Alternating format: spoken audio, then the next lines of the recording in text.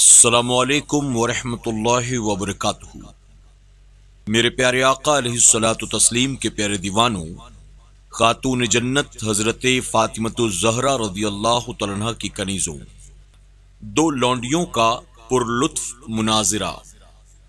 हारून रशीद को एक लौंडी की ज़रूरत थी। उसने ऐलान किया कि मुझे एक लौंडी दरकार है।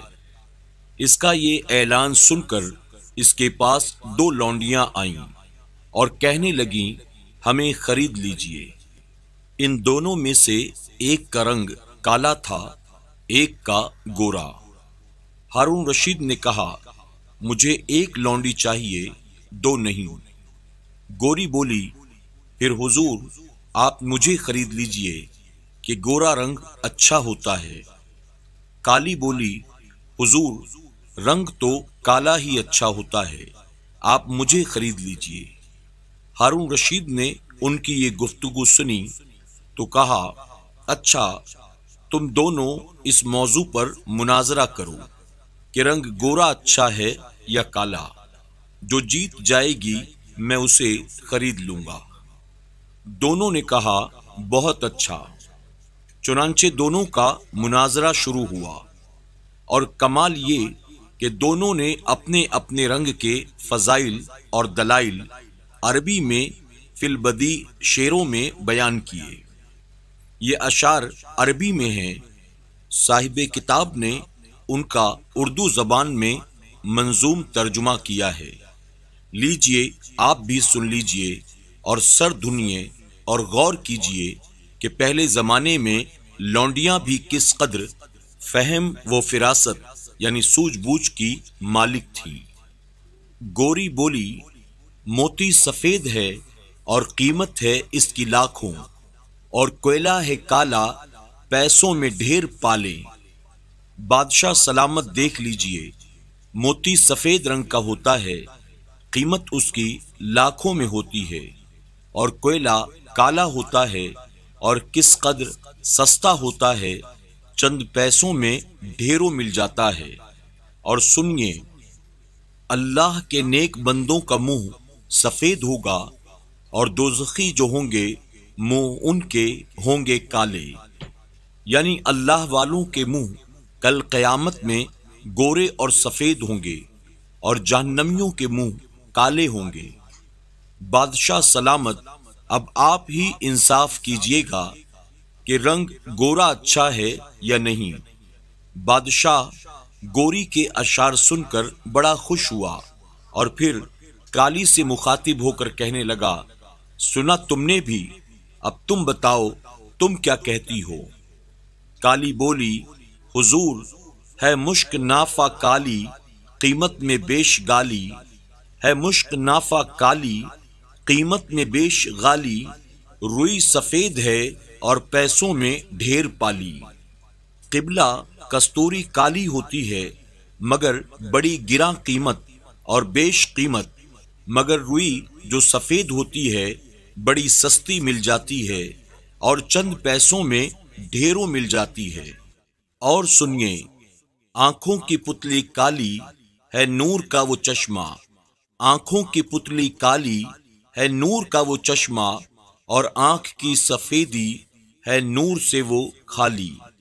यानी देख लीजिए, आँख की पुतली जिससे नज़र आता है, वो काली होती है। सारा नूर इसी में होता है और इस पुतली के इर्द गिर्द जो सफेदी है, वो इसमें कतअन कोई नूर नहीं। बादशाह सलामत, अब आप ही इंसाफ कीजिए कि रंग काला अच्छा है या नहीं। काली के ये अशार सुनकर बादशाह और भी ज़्यादा खुश हुआ और फिर गोरी की तरफ़ देखा तो वो फ़ौरन बोली, कागज़ सफ़ेद है, सब कुरान पाक वाले। काली झट से जवाब देती है और उन पे जो लिखा है, कुरान के हर्फ काले। गोरी ने कहा, मीलाद का जो दिन है, रोशन वो बिल यकीन है।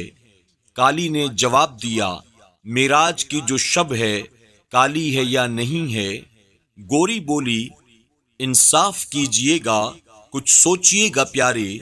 इंसाफ कीजिएगा, कुछ सोचिएगा प्यारे। सूरत सफ़ेद रोशन, तारे सफ़ेद सारे। काली ने जवाब दिया हाँ सोचिएगा आका, हैं आप अक्ल वाले। हाँ सोचिएगा आका, हैं आप अक्ल वाले। काला गिलाफ काबा, हज़रत बिलाल काले। गोरी कहने लगी रुख मुस्तफ़ा है रोशन, दांतों में है उजाला। काली ने जवाब दिया, और जुल्फ उनकी काली और कमली का रंग काला। बादशाह ने इन दोनों के ये इल्मी अशार सुनकर कहा, मुझे लौंडी तो एक दरकार थी, मगर मैं तुम दोनों को खरीदता हूँ। सबक।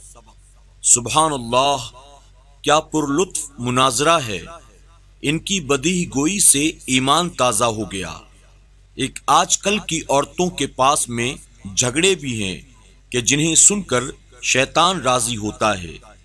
उन लौंडियों के अशार से उनकी दानिश व फिरासत का इजहार है और आजकल की औरतों के ढोलक गीतों से इनकी हिमाकत व जहालत आशकारा है। ए मुसलमान औरतों क्यों नहीं अल्लाह से शर्माती हो तुम? क्यों नहीं अल्लाह से शर्माती हो तुम? गीत गंदे किस लिए गाती हो तुम? हिकायत नंबर चौरानबे। दो लौंडियाँ। हारून रशीद को एक मर्तबा, एक लौंडी की ज़रूरत पेश आई। उसके पास दो लौंडियाँ आईं। एक का रंग काला था और एक का सफ़ेद। हारून रशीद ने कहा, मुझे तो एक ही दरकार है। तुम दोनों में से उसे अपनी खिदमत में रखूँगा, जो अपने रंग को दूसरी के रंग पर तरजीह साबित कर दे। चुनाचे सफ़ेद रंग वाली ने अपने सफ़ेद रंग की कुछ खूबियाँ बयान की।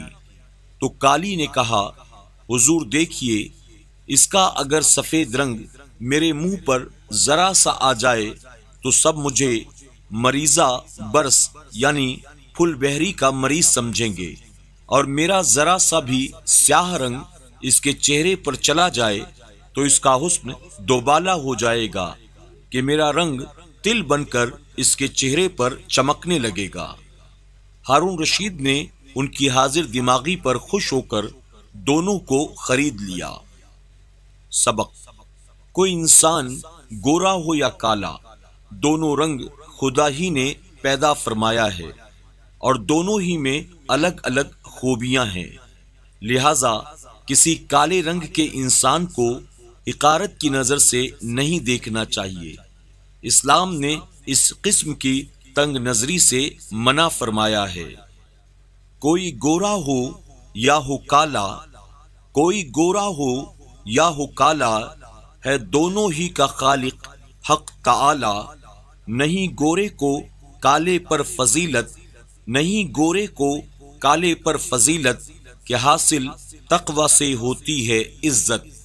मेरे प्यारे आका सलात तस्लीम के प्यार दीवानों, खातून जन्नत हज़रत फ़ातिमत जहरा रदी अल्लाह तला की कनीज़ों, आज कायात के सातवें बाब से हमने दो हिकायत समात की, जो के बादशाह हारून रशीद और उसकी दो लौंडियों के ताल्लुक से थी।